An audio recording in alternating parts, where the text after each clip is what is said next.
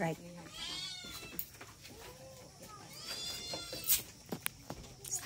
So, ka kani siya nga koan. Kani siya para kay Lynn nga detoxidine nga para ni siya sa goiter. Ang paggamit ani isa lang gud ka drop.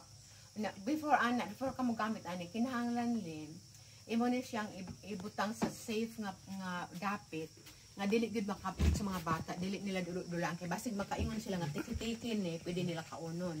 Dili pwede ibutang yun sa taas nga dili pwede makapot sa mga bata.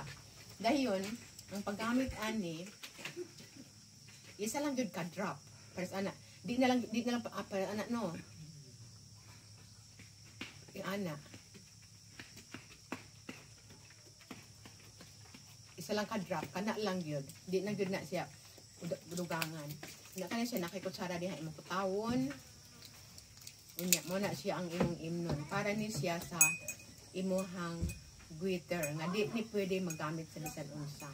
So imong gyud ning tipigan nga dili gyud na siya magamit sa uban nga walay walay guiter kay para lang gid sa guiter so mag-pray sa ta before ka mo gamit ana.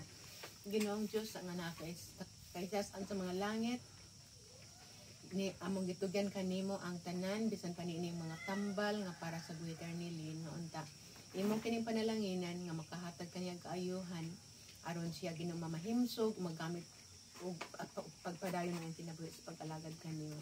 Salamat sa mga panalangin nga nakahimo kami sa pagpalit ani aron lang nga makashare sa iya ha og magamit kini sa pag pagka pagpahimsog siyang kalawasan. Salamat o Diyos na ikaw nakatubag sa mga pag-ampo, kaya mo kayong pangayo, uban ng kapasayloan sa mga sala, sa ngalan ni Ginoong Jesus manuluwas. Amen. Okay, tingnan natin.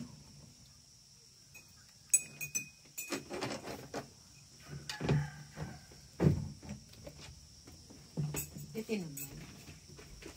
Ano ba yan? Yeah, plain. Plain lang. Wala man po ang Gamang yan. Tumawa lang din na siya. Di, lang- di lang yun. Pa kung ano, pa, pasubraan.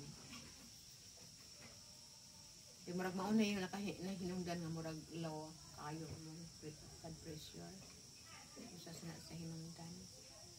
Ya, sa isa ka adlaw, ka isa ra pod. Mm. No, once a day ra gyud siya.